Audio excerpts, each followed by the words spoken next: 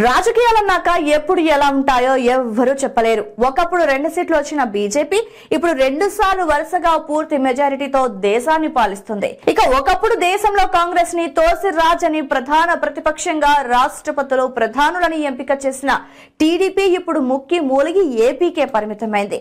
అందుకే రాజకీయాల్లో ఎవరి ఫేట్ అయినా ప్రజలిట్టే మార్చేస్తారు. ప్రజల్లో ఉంటూ పోరాడితే రాజ్యాధికారం అప్పగిస్తారు.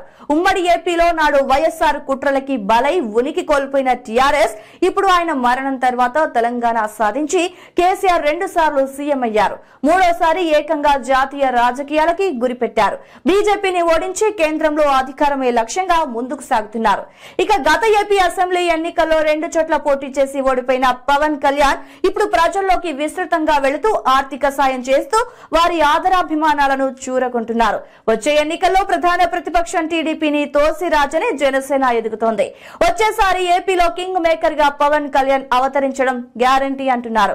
ఇప్పుడు తెలంగాణలో కేసీఆర్ జాతీయ రాజకీయాల్లో భాగంగా ఏపీలో ఆయనకు పవన్ కళ్యాణ్ ఆశా కిరణంలా కనిపిస్తున్నారు. ఎందుకంటే చంద్రబాబు ఒకప్పుడు తన బాస్ అయినా కూడా కేసీఆర్ బాబును నమ్మి ఆయనపై నమ్మకంతో రాజకీయాలు చేయలేని పరిస్థితి.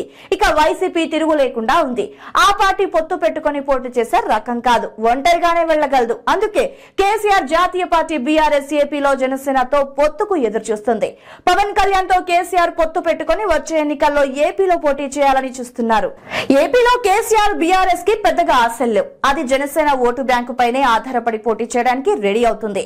ఆంధ్ర విడిపోవడానికి కారణమై ఇప్పుడు సమస్యలకు కేసీఆర్ కారణమని అక్కడి ప్రజల్లో వాదన ఉంది. అందుకే బీఆర్ఎస్కి ఏపీలో మనుగడ కష్టమే. అందుకే పవన్ కళ్యాణ్తో కేసీఆర్ పొత్తు పెట్టుకొని కొన్ని సీట్లలో అయినా ప్రభావం చూపాలని యోచిస్తున్నారు. మరి ఇది వర్కౌట్ అవుతుందా లేదా అన్నది చూడాలి.